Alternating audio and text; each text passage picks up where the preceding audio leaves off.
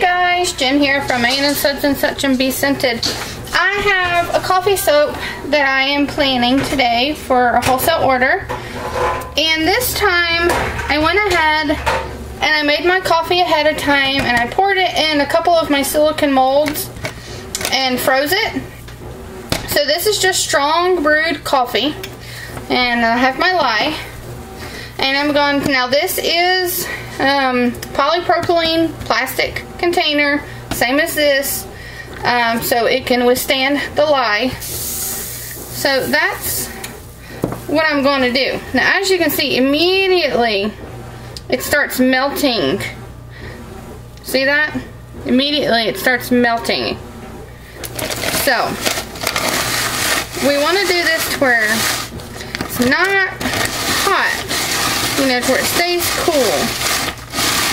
So we're going to add our lye slowly to get it all incorporated.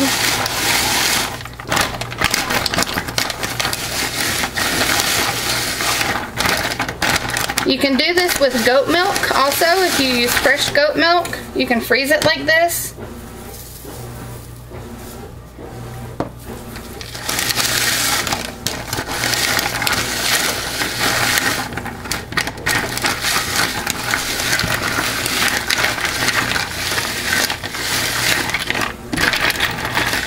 It does not take long.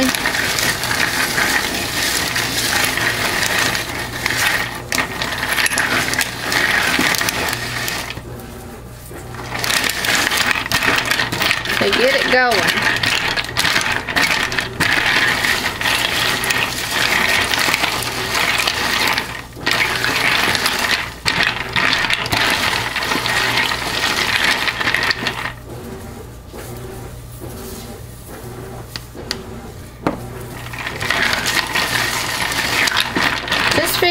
I've never done it like this on camera, so I figured I'd show you guys. You also can make your lye water this way with ice. You weigh it all the same.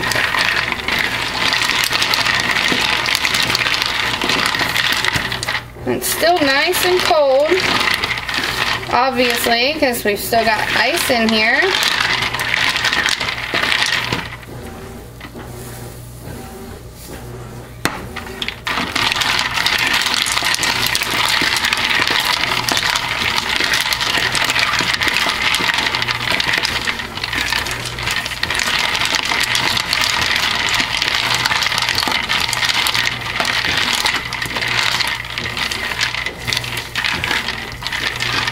And if you're also afraid that this will heat up too much, um, like if you're doing a goat milk or something and you're afraid it may heat up, uh, you can always um, mix it in an ice bath. You know, put your container down in some ice, ice water. Keep it nice and cold. You're doing wonderful. Nice and slow.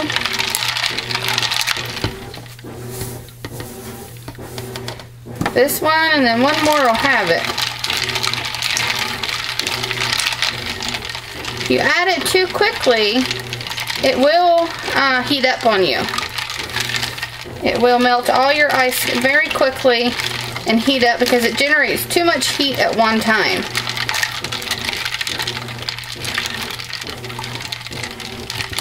See, we still got some ice chunks in here. We're still nice and cold.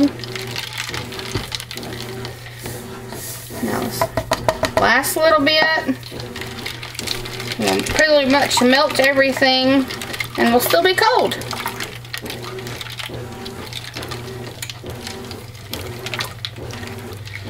You don't scorch anything this way.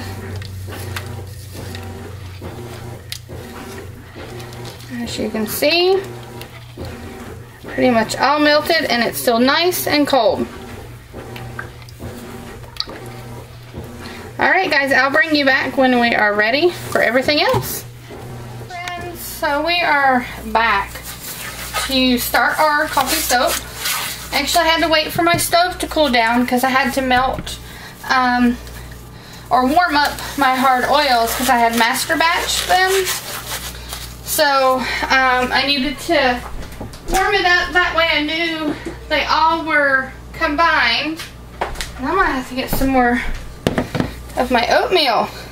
I have enough for this batch, but that's all. I have to get some more before I do my next batch. These little containers I got at the dollar store, I really like them. Alright, so stick the blender needs to come over here. I'm stuck to my other cord.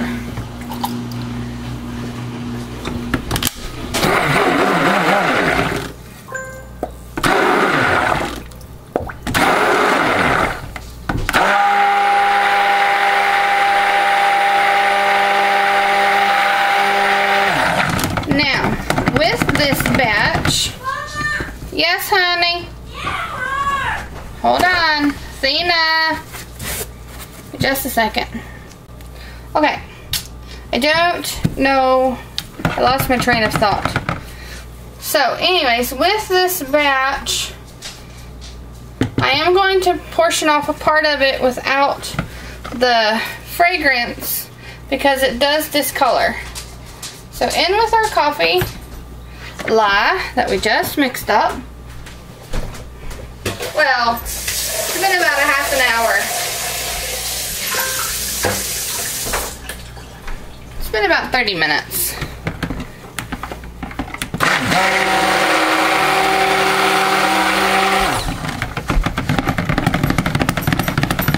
That smells divine. In with our cream. Our milks there. In other words, our milk.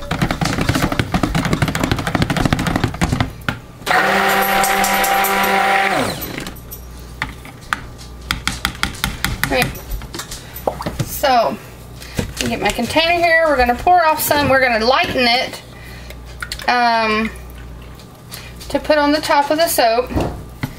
We'll do that with some titanium dioxide.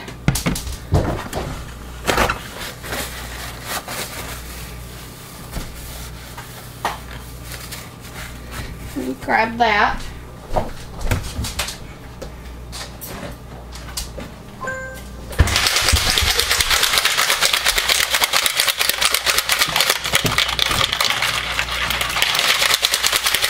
I need to get some more mixed up.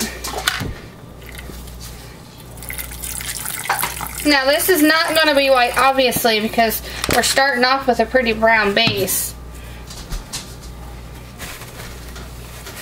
But it will be lighter than the rest of the soap.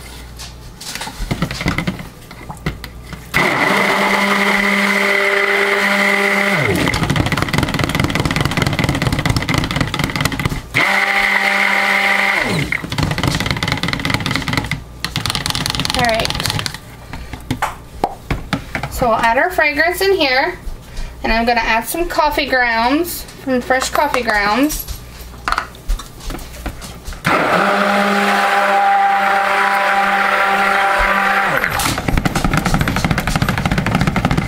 The fragrance has no vanillin, but it does discolor. This is coffee that I keep solely for soaping. I'll put a couple good size spoonfuls.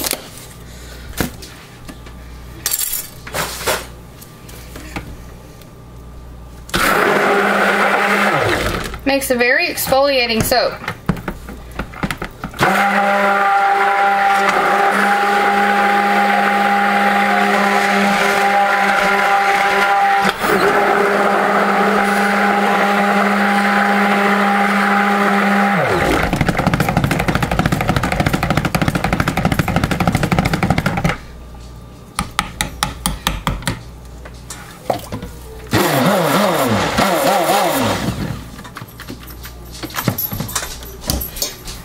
get my mold.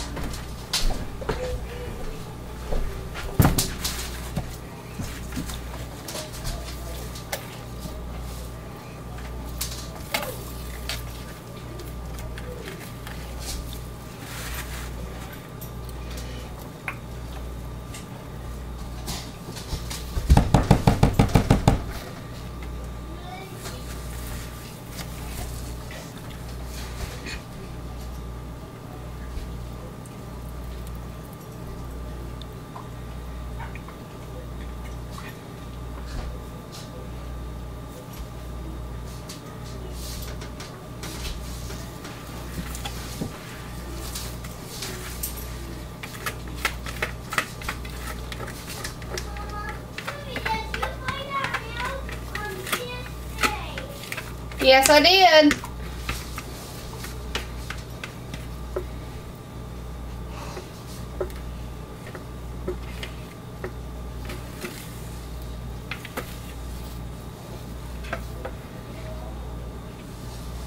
Right. Now, with this soap, I have made some little coffee beans that I'm going to put on the top when we put our topping on. But aren't those cute? We'll put those on here in a few minutes. Those are uh, melt and pour soap. So I'm to pause you guys. We're to kind of let this set up. I'm to straighten up. I'm kind of to get ready for my next batch. And then I'll bring back and we'll do the topping. Okay, so I really didn't have time to prep for my next batch. I actually um, got my oatmeal ready. So,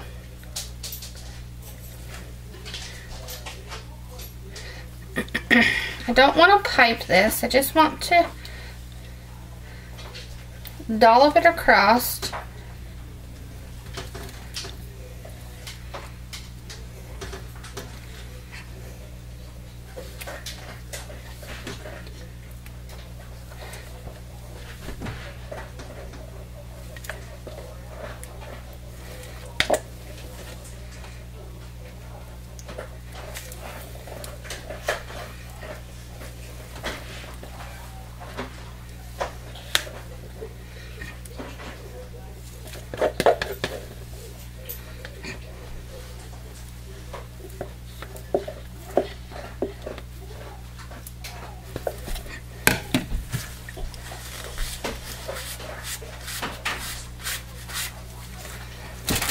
Now,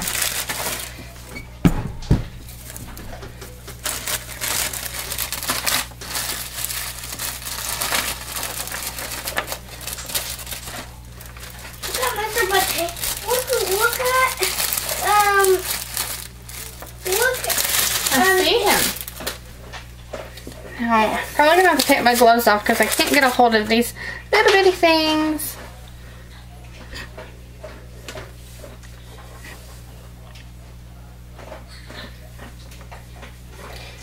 Just gonna put them on randomly. Look at him, Mama. Uh-huh.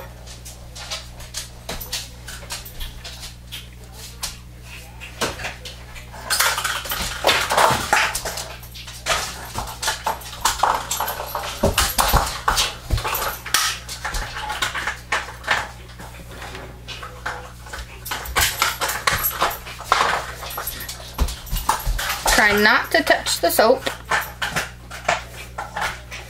And if I do, I'll wipe my hands off.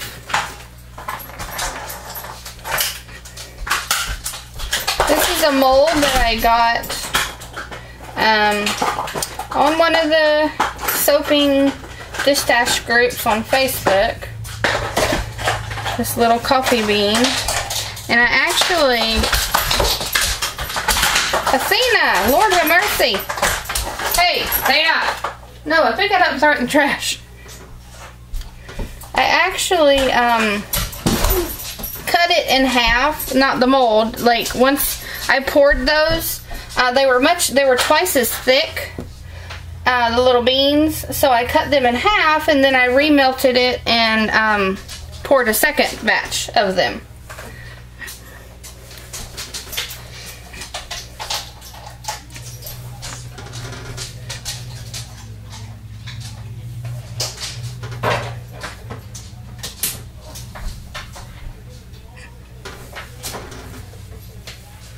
Want everybody to have nice little beans.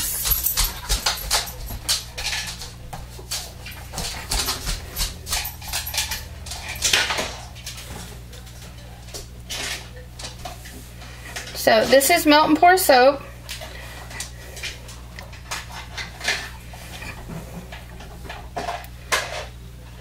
Detergent free, uh, low sweat.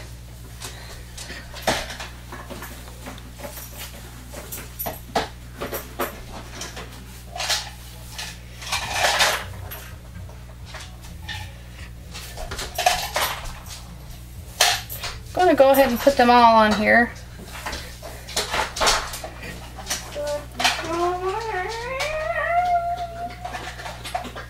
Because I've almost used them all already. So I might as well. And then I'll make a second batch of these little toppers for my batch of soap that I make. Because I, I need to make this soap as well.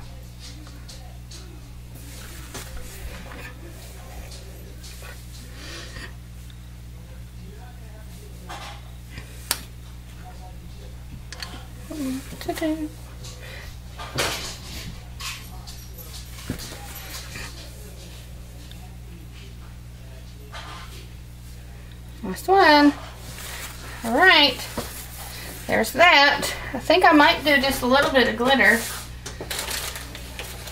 Because I think it'll look nice.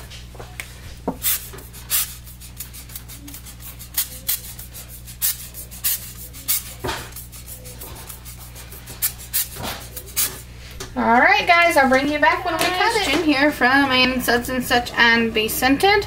I'm going to cut the coffee soap. So here it is. Got it sitting back here. Turned out really good. So let's cut the little end piece off. Now, see, as you can see, the inside, how much the outside is already darkened.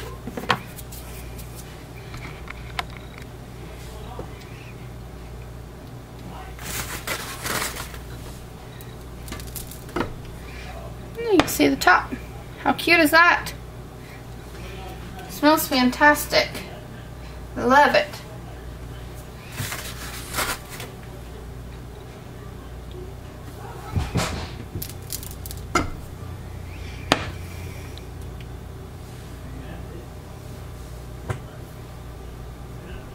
That little guy wants to fall off. Now they're all pretty much the same other than the embeds on top will be here and there and other places.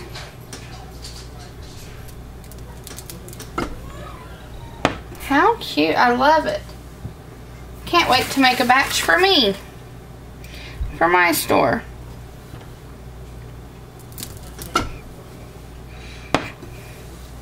Looks like real, genuine coffee beans on top. But it's not.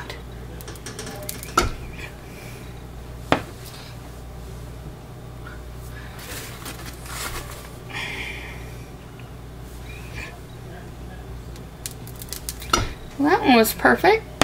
Everybody made it through without being sliced up.